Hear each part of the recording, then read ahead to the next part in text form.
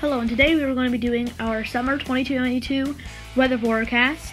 And if you like content like this and you're new to my YouTube channel, please subscribe to be ahead of the weather and to know exactly when different uh, weather events are happening.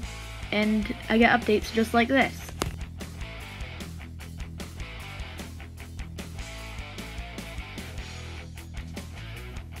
Let's kick it right off with the temperature forecast. In much of the central or slightly eastern United States, it's going to be slightly warmer than average. And in the uh, northwest and the western United States in general, a little bit on the cooler side. Right here is our precipitation weather forecast, where much of the northern uh, three quarters, ultimately, the of uh, the nation is going to be quite wet and then the southwest is going to be on the dry side.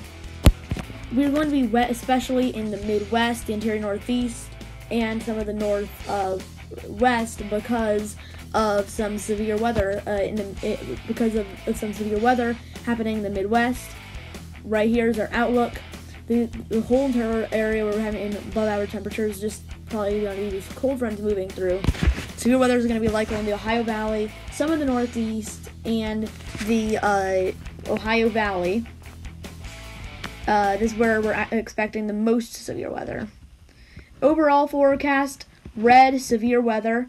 Uh, that orange color, slightly above average temperatures. That green color means that there could be a lot more rainfall than usual. That red and pink is elevated severe weather. So you're going to be seeing a lot more severe weather than you typically see in the summer. And actually could be quite active in the Ohio Valley and Midwest. Flip flop in that yellow color and then drier than average in that dark brown color there.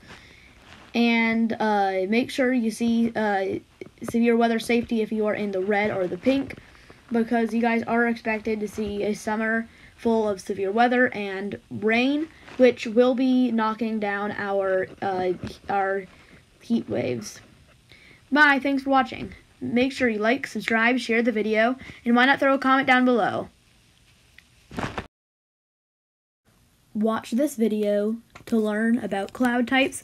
I am planning to continue that series, potentially even starting in the next few days. So watch out for that. See you next time.